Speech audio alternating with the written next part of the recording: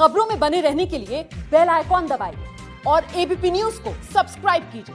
इस समय एक बड़ी खबर आ रही है, वो आपको बता दें। इस समय की बड़ी खबर ये है कि भिवंडी इलाके में, मुंबई के भिवंडी इलाके में एक गोदाम में आग लग गई है। आग बेहद भयानक है और कई लोगों के आग में फंसे होने की आशंका है। फायर ब्रिगेड मौके पर मौजूद है और आग बुझाने की कोशिशें लगातार जारी है। आग केमिकल के गोदाम में लगी है। अभी दो दिन पहले भी मुंबई में आग लगी थी, माफ़ कीजिएगा। कल मुंबई में एक भीषण आग लगी थी एमटीएनएल की बिल्डिंग में और आज अब ये मुंबई के भिवंडी इलाके में गोदाम में आग लगी है। लपटों को देख के आप अंदाज़ा लगा सकते हैं।